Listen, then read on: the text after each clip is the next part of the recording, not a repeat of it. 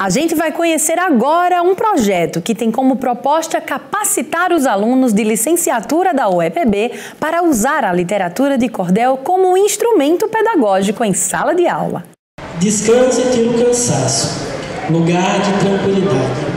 Cachoeiras, rios e lagos transbordam felicidade. E ela vira o meu abraço, minha amada eternidade. Nessa aula, o exercício do dia é aprender como recitar os versos de cordel e encantar o ouvinte. Nessa turma são os professores que estão como aprendizes de poetas populares, mas a métrica e o mote são a ciência.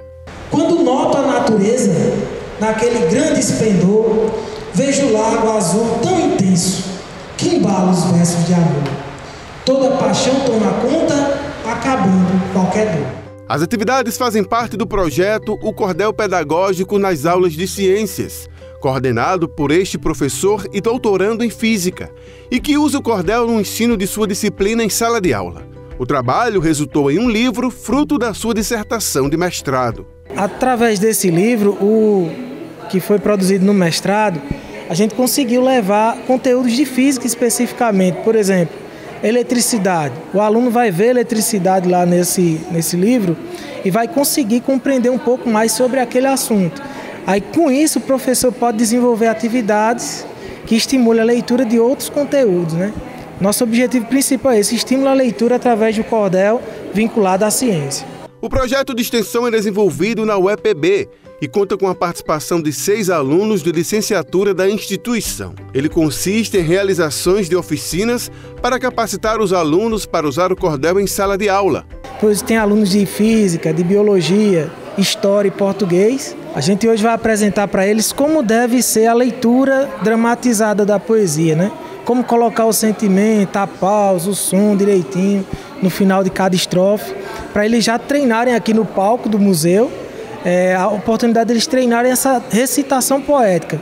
Para quando chegar para o aluno, não é somente ler uma estrofe, você, é, como é que eu posso dizer, é emocionar o outro com a sua apresentação poética. Né? Envolver o outro. Isso, trazer o outro para dentro do seu mundo poético.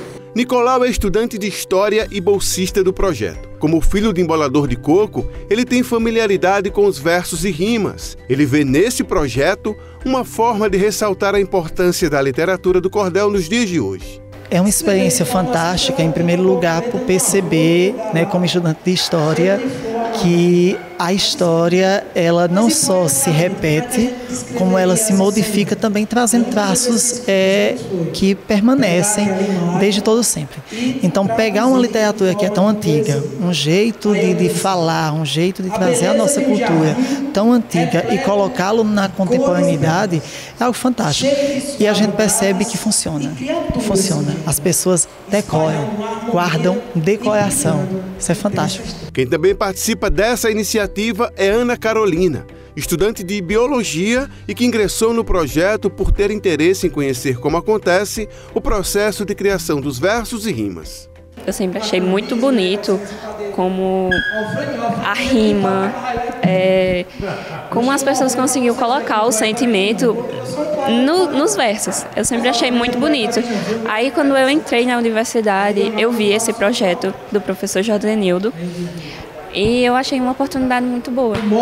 Eu fui lá, procurei ele e estou aí. Depois desses encontros formativos sobre a literatura de cordel, os estudantes irão a campo, colocar em prática o que aprenderam durante os meses de aprendizado. E esses estudantes, ao final desse processo de formação, que a gente está chamando de encontros formativos, eles vão estar tá, é, possibilitando né, levar esse conteúdo para os estudantes da educação básica em quatro escolas paraibanas, que a gente pretende começar a partir do mês de outubro a visita às escolas. Lugar que me faz sonhar, onde a alma encontra descanso refúgio verde de encantar, presente da natureza, um paraíso para cuidar.